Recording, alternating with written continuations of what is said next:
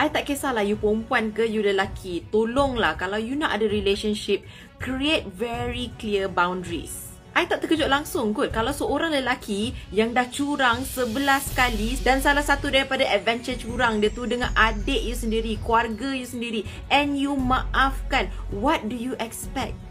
Sebab kita as pasangan dia orang dah condition dia punya mindset that it is okay, that benda ni satu benda yang boleh dimaafkan. Padahal you dah buat benda tu banyak kali dah dengan family member. You sanggup potong relationship you dengan family disebabkan you pilih lelaki tu over your family. Benda tu akan embolden him. Benda tu akan bagi dia security dalam kepala otak ni dia akan rasa yang apa-apa yang dia buat pun you akan tetap maafkan dan dia ada hak terhadap you. Maksudnya he's basically invincible kalau dia boleh buat macam tu dengan adik you, apalah sangat dengan best friend you ke, dengan kawan-kawan you ke, apatah lagi dengan perempuan random-random dekat luar sana.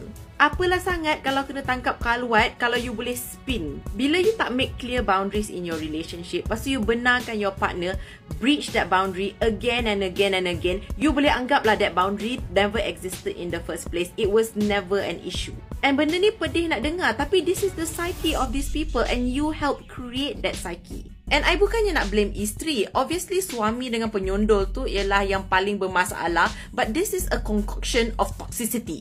And legally, kalau seorang lelaki itu tidak mahu melafazkan talak, itu hak dia. Tetapi kalau dah memang jelas seorang suami itu menganiaya isteri dia, memang ada cara. You boleh fight. Walaupun dia ambil masa sikit, just fight it. Sebab what is the alternative? You bagi peluang ke-12? Baru di channel ini, jangan lupa tekan butang subscribe untuk dapatkan banyak lagi video terbaru selepas ini.